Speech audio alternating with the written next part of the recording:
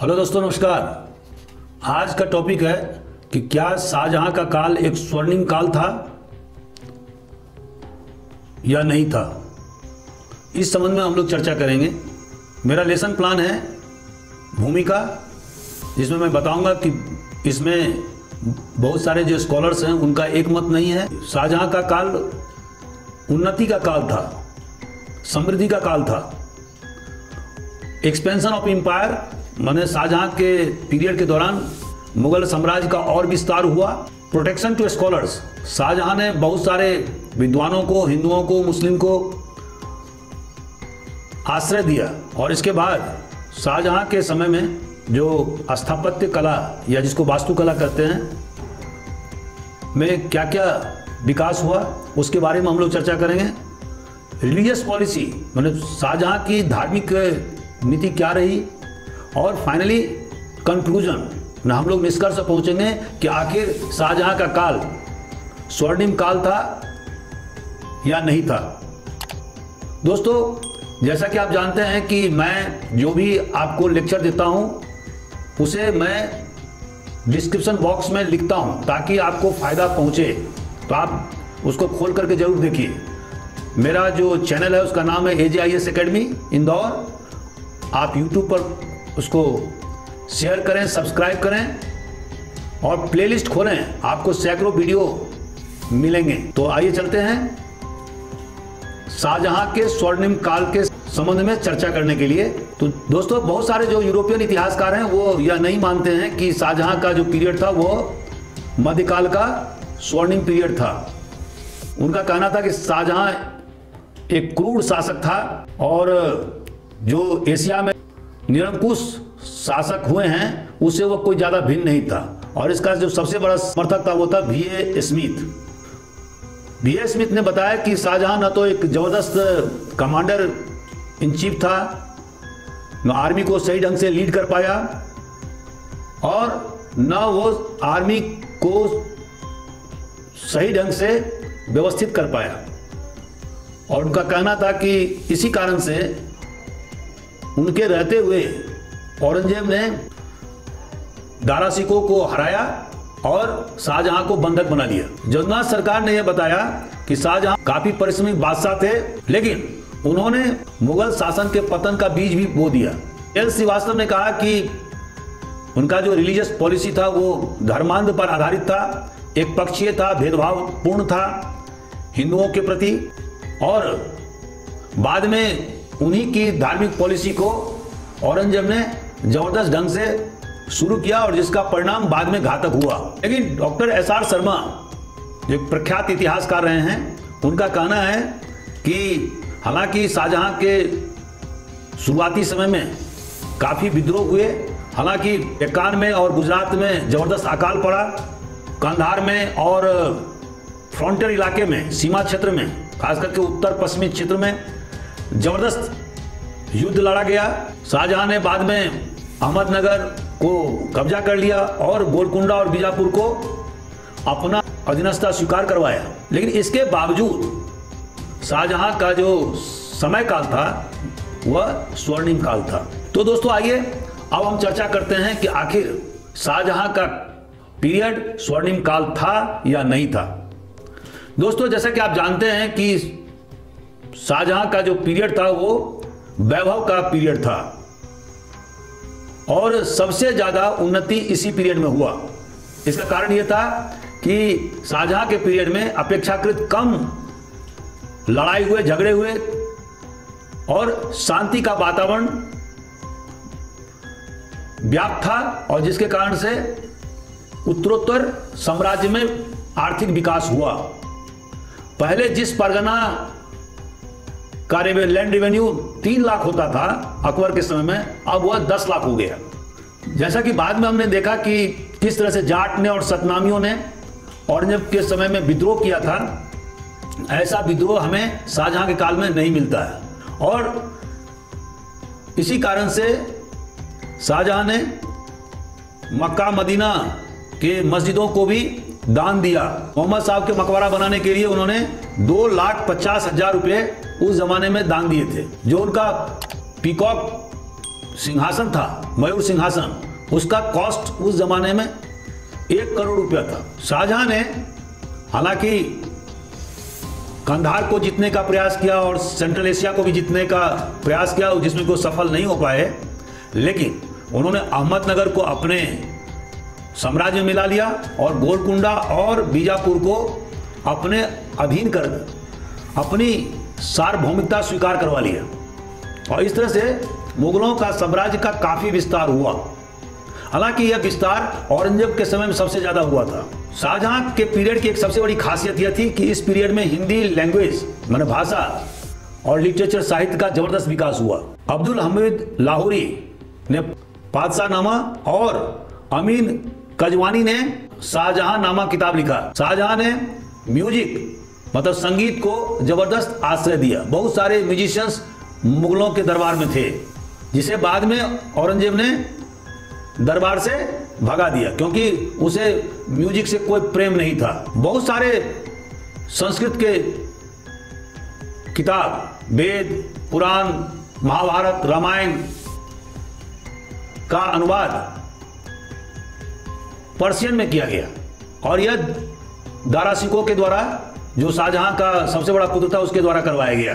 जगन्नाथ पंडित चिंतामणि सरस्वती सुंदरदास जैसे प्रख्यात विद्वान उनके दरबार में रहते थे। लेकिन दोस्तों, सबसे ज़्यादा जो उन्नति हुआ हुआ था स्थापत्य कला में। और जैसा कि आप जानते हैं कि ताजमहल शाहजहां के द्वारा बनाया गया, उसी तरह से दिल्ली का लाल किला भी उन्हीं के द्वारा बनाया गया। मोती मस्जिद, दीवाने आम, दीवाने खास, आगरा के किले के अंदर बनाया गया। और रेड फोर्ट जो उन्होंने दिल्ली में बनाया, उसमें उन्होंने जामा मस्जिद भी बनवाया। और इसके अलावा लाहौर में और अन्य जगहों में स्थापत्य कला में ज़बरदस्त विकास उनके पीरियड में हुआ। शाहजहां ने इसके अलावा दो केनाल मैंने नहर का निर्माण करवाया। पहला रा, रावी केनाल था जो करीब अंठानवे माइल लंबा था और वह लाहौर तक पहुँचता था। इसके अलावा एक नहर ए शाह का भी उन्होंने मरम्मत और दुरुस्त कराने काम किया जो फिरोज तुगलक के द्वारा बनवाया गया था। दोस्तों आखिर शाहजहां का रिलीजियस पॉलिसी में धार्मिक नीति क्या था? तो हम देखते हैं कि शुरुआती समय में उन्होंने इस्लाम को फेवर किया। बहुत सारे हिंदू जमींदारों ने जो मुस्लिम स्लेब्स को या गुलाम को अपने पास रखा था, उसे उन्होंने मना कर दिया। तीसरा, उन्होंने पिलीग्रिम टैक्स अर्थात यात्रा कर पुनः लगा दिया, जिसे कि अकबर ने बंद कर दिया था। लेकिन कुछ दिनों के बाद में शाहजहां के द्वारा इस आदेश को विड्रॉ मैंने निरस्त कर दिया गया। मुगल कोर्ट में पहले हिंदू उत्सव मनाए जाते थे, जैसे दिवाली या होली, इन हिंदू फेस्टिवल पर पूरी तरह से मनाही कर दी गई। बनारस, इलाहाबाद, कश्मीर, गुजरात में बहुत सारे टेंपल मंदिरों को ध्वस्त कर दिया गया। उन्हीं के पीरियड में प्रिंस औरंगज़ेब के द्वारा ओरछा के बहुत सारे मंदिरों को तोड़ करके उसको मस्जिद में कन्वर्ट कर दिया गया और जुझार सिंह के रिश्तेदारों को ज़बरदस्ती मुसलमान बनाने का प्रयास किया गया। आगरा में जो चर्च थे, उसे डिस्ट्रॉय मैंने ध्वस्त किया गया। जिन हिंदुओं ने मुस्लिम लड़कियों से शादी किया था, उसे उन्हें फोर्स किया गया कि मुस्लिम लड़की को छोड़ दें, आज़ाद कर दें। इसके अलावा जो सबसे महत्वपूर्ण जो रेगुलेशन शाहजहां के द्वारा किया गया, वह यह था कि अगर कोई हिंदू इस्लाम में परिवर्तित होता है तो उसके बाद भी वह अपने पेटर्नल प्रॉपर्टी में हिस्से का हकदार होगा। जो वार कैप्टिव थे मतलब युद्ध कैदी, उन्हें इस्लाम में धर्म परिवर्तन किया गया। इसके अलावा बहुत सारे क्रिमिनल्स थे कन्विक्ट्स थे, उन्हें भी इस्लाम में कन्वर्ट किया गया। मुल्ला मौलवियों को खुश करने के लिए उन्होंने मक्का में हज़ारों लाखों रुपए भेजे। अकबर ने जिस राजपूत पॉलिसी को शुरू किया था और जिसमें राजपूतों को ऊँचे ऊँचे ओहदे पर रखा गया था, अब शाहजहां के पीरियड में वो रिकॉग्निशन राजपूतों को नहीं मिला जो अकबर के जमाने में उन्हें मिलता था। हालाँकि शाहजहां ने कोई धार्मिक अत्याचार के काम नहीं किए, जिस तरह से बाद में औरंगज़ेब ने किया। और हिंदुओं को सताने को, परेशान करने का जो उन्होंने बीड़ा उठाया था, ऐसा काम शाहजहां के द्वारा नहीं किया गया। एक बात और है कि बहुत सारे जो अभी मैंने रेगुलेशंस बताए, वो शाहजहां ने अपने पीरियड के सेकंड हाफ़ में दारा सिको और जहान आरा, जो उनकी सबसे बड़ी बेटी थी, उसके प्रभाव में आकर के निरस्त कर दिया गया। दोस्तों, आखिर निचोड़ क्या है? तो निचोड़ यह है कि जो प्रॉस्पेरिटी जो वैभव, जो मुगल काल में हम देखते हैं, वह बादशाह, उनके रिश्तेदार और नॉबल्स मतलब अमीरों तक सीमित था। आम जनता गरीब थी। शाहजहां ने अब लैंड रेवेन्यू एक बट्टा दो मन आधा हिस्सा कर दिया था, जो सबसे ज़्यादा अधिक था। इसके पहले इतना ज़्यादा लैंड रेवेन्यू कभी नहीं रहा। राजपूतों के पीरियड में और उसके पहले प्राचीन भारत में लैंड रेवेन्यू अधिक से अधिक एक बटा छह भाग लिया जाता था। लेकिन शाहजहां के काल में लैंड रेवेन्यू का प्रतिशत अब आधा हो गया। जितना भी उत्पादन होगा, उसका आधा हिस्सा मुगल सम्राट को जाएगा। और इस तरह से किसान कर के तले दब गए थे।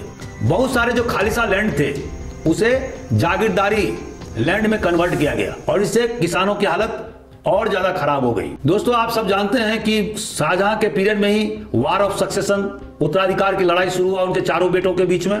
और अंतोगत्वा औरंगज़ेब ने शाहजहां को कैद कर लिया और करीब वो आठ साल तक कैद में रहे, कभी बाहर नहीं निकल पाए उनके अन्य तीन पुत्रों की हत्या औरंगज़ेब ने करवा दिया। इस पीरियड में महिलाओं की स्थिति बेहतर नहीं हो पाई। उन्हें अपने पिता की संपत्ति, खासकर हिंदू महिलाओं को अपने पिता की संपत्ति में उत्तराधिकार का अधिकार प्राप्त नहीं था। पर्दा सिस्टम हिंदुओं में बहुत ज़बरदस्त ढंग से व्याप्त हो गया। साइंस एंड टेक्नोलॉजी का कोई विकास इस पीरियड में नहीं हुआ। और नेवल पावर जो है नौ शक्ति, उसमें भी मुगलों ने, या खास करके शाहजहां पीरियड में ज़बरदस्त काम नहीं किया गया। और इसका दुष्परिणाम बाद में हमें देखने को मिला जब अंग्रेज़ों ने बारी बारी से हिंदुस्तान पर कब्जा कर लिया। उस समय में बहुत ज़्यादा पास्ट लर्निंग इतिहास पढ़ने पर ज़्यादा फोकस किया जाता था। इनोवेशन मैंने आविष्कार डिस्कवरी में खोज पर ज़्यादा पढ़ाई नहीं की जाती थी या उस पर ज़्यादा ध्यान नहीं दिया जाता था। हालाँकि शाहजहां के पीरियड में बहुत ज़्यादा आर्थिक विकास हुआ। ट्रेड और मैन्युफैक्चर और कॉमर्स मतलब वाणिज्य और व्यवसाय भी काफ़ी बढ़े। लेकिन इसमें प्रिमिटिव टूल का इस्तेमाल किया जाता था, कोई मशीन का इस्तेमाल नहीं किया जाता था। और चूँकि हमारे देश में, उस समय में भी धन का असमान वितरण था, जहाँ पर कि अधिकांश धन राजा रजवाड़ों और नौगुस तक सीमित था। तो इसके कारण से आर्टिजन्स मतलब कारीगर या मर्चेंट माने व्यापारी, उस तरह से विकसित नहीं हुए, जिस तरह से पश्चिमी देशों में विकसित हुए। इसके अलावा जो शाहजहां की जो प्रारंभिक, जो रिलीजियस पॉलिसी में धार्मिक नीति थी, वो भी धर्मांता की शिकार थी और हिंदुओं के खिलाफ थी। हालाँकि बाद के पीरियड में उन्होंने उसमें कुछ सुधार किया, लेकिन बहुत सारे मंदिरों को तोड़फोड़ इनके पीरियड में भी किया गया था। तो दोस्तों, इस तरह से हम पाते हैं कि शाहजहां का जो पीरियड था, वह स्वर्णिम काल था, लेकिन वह आर्ट और आर्किटेक्चर और लिटरेचर के फ़ील्ड में था। जहाँ पर कि अभी हमने बताया कि बहुत सारे जगहों पर स्थापत्य कला का द्रुत गति से विकास हुआ, खास करके आगरा, दिल्ली और लाहौर में। बहुत सारे विद्वानों को संरक्षण शाहजहां के द्वारा दिया गया, लेकिन इनके पीरियड में किसान सबसे ज़्यादा त्रस्त हो गया था, क्योंकि इनके ऊपर सबसे ज़्यादा कर का बोझ था, और जिसका परिणाम यह हुआ कि औरंगज़ेब के पीरियड में जाटों ने, सतनामियों ने ज़बरदस्त ढंग से विद्रोह किया। तो इस तरह से हम देखते हैं कि स्वर्णिम काल केवल स्थापत्य कला के क्षेत्र में था और अन्य मामलों में नहीं। तो आज मेरा लेक्चर दोस्तों कैसा रहा, इस पर आप अपनी टीप से ज़रूर अंकित करें। अगर आपका कोई सुझाव हो तो आप ज़रूर AJ I S academy Indore YouTube पर टाइप करें और कमेंट बॉक्स में अपने कमेंट से मुझे अवगत कराएँ। Thank you very much.